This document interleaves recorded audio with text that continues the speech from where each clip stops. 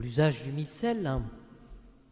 Donc nous reprenons à partir d'aujourd'hui, le 14, le rythme du sanctoral, c'est-à-dire que nous avons la fête de Saint-Hilaire.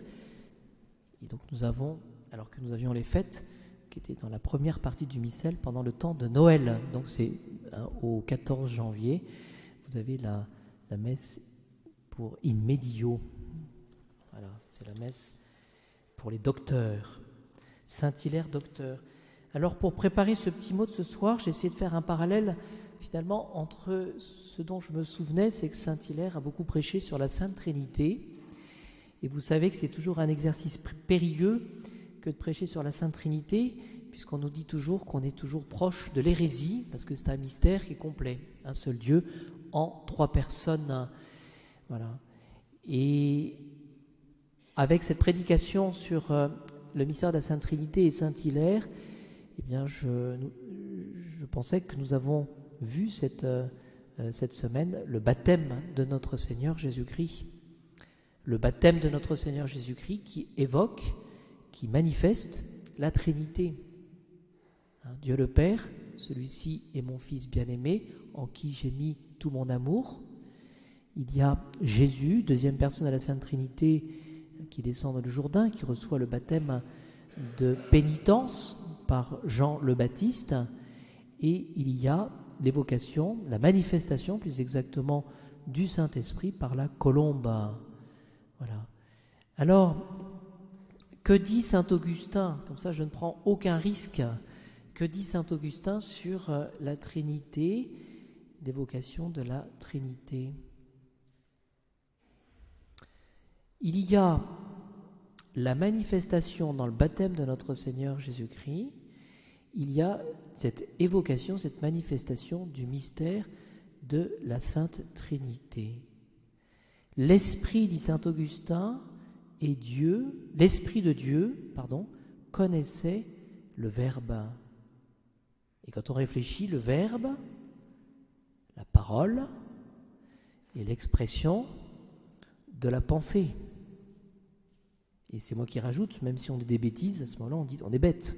Et oui, ce que je veux dire, c'est que hein, la parole manifeste. Hein, voilà, là. Et c'est la raison d'être d'ailleurs du.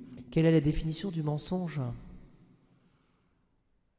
C'est pas forcément dire quelque chose de faux, le mensonge. Parce qu'on peut se tromper à ce moment-là.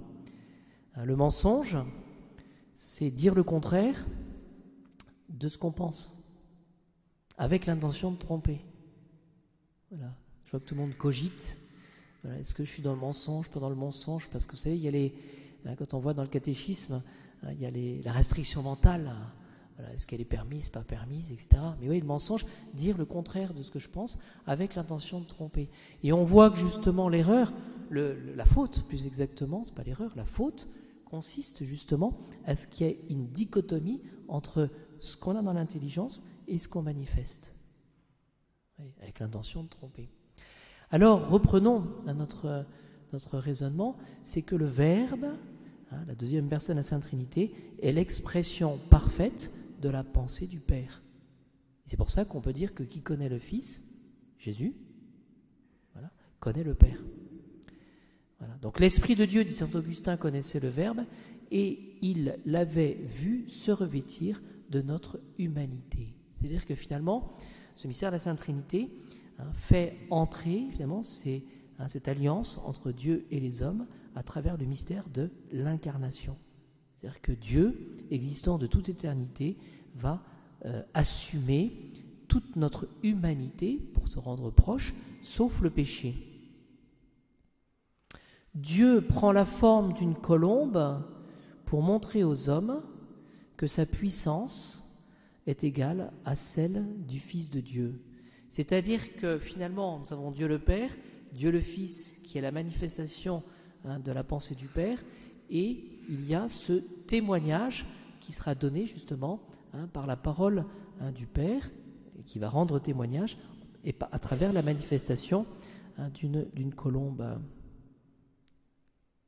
Le Père se fait entendre, celui-ci est mon Fils bien-aimé, en qui j'ai mis tout mon amour, et se fait connaître par son propre témoignage.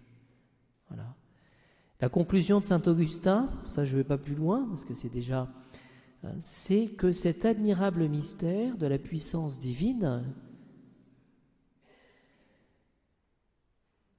cet admirable mystère de la puissance divine, eh bien, euh, est aussi évoqué, nous dit saint Augustin, par les apparences, par le, choix, et c'est ça qui est remarquable aussi, d'un oiseau inoffensif. C'est-à-dire qu'on peut se poser la question, finalement, du pourquoi de la colombe. Le bon Dieu a choisi, un Dieu le Père a choisi, dans d'autres circonstances, pour manifester le Saint-Esprit par des langues de feu. Pourquoi les langues? Hein, C'est cette subtilité, hein, cette, parole aussi, mais dans le baptême de notre Seigneur Jésus-Christ.